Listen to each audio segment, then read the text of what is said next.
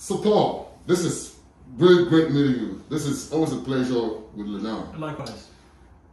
This is Princeton, a new community. It's just coming up. Can you tell us a little bit why people in the Dallas Metroplex, Fort Worth area should consider coming down to Princeton? What is what is the main attraction here? So the main attraction here is the cost of land, cost of cost of living. You have so many people that have wanted to get to the McKinney area, but over time they feel priced out. But what's happening over there is the land costs continue to increase. Princeton right outside of McKinney, and so what you have is you have availability and you have extraordinary exponential growth happening in Princeton right now. Lots of builders are clamoring to get out here because so many people want this area, just can't afford can't afford the pricing in McKinney right wow, now. Wow, wow, wow! And for some reason, Paul, they seem looking at looking at your sheet here. Mm-hmm. There seems to be a shortage of homes. Mm-hmm.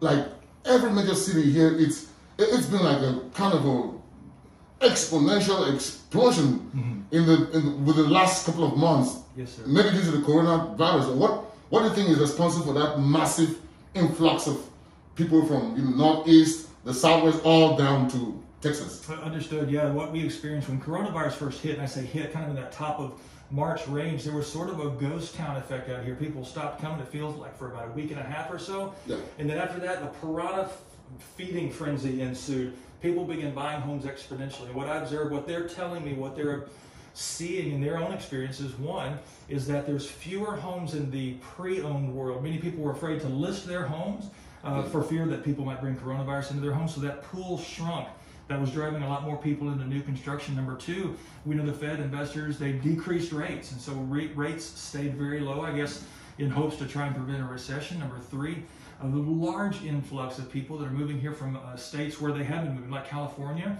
where people have a dissatisfaction with what they have, the, their life experiences are over there, traffic, cost of living, uh, politics, whatever the reason is, those dissatisfactions increase, and there seem to be greater numbers uh, of, of, people coming over here, and um, uh, all of that fueled by we're in the regular selling season of the year anyway. And so I think those four factors seem to be what feeding it. Well, because because it's it's it's been like people, most of my clients always called me and say, "Oh, Frank, we." Uh, I, I, I want to buy, but I'm waiting for the recession. I said, well, no. a recession? What, what, are you what are you what are you talking about the recession? It's, it's, it's, it's been an explosion. Mm-hmm. So if the longer you wait, you may, you may just not be able to find a home. Mm-hmm. There are more people. Some of the builders went to yesterday. They're telling you you have to wait for a year mm. before you can because they have people backed up for like 6 mm-hmm. months that they have to build houses. Right. So if you're out looking, don't ask questions. There will not be a recession.